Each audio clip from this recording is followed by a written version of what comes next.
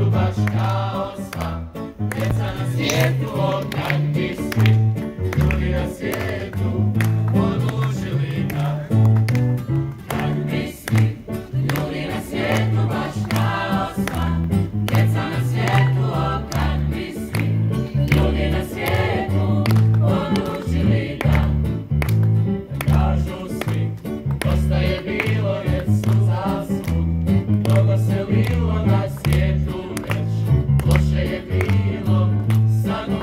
Amen.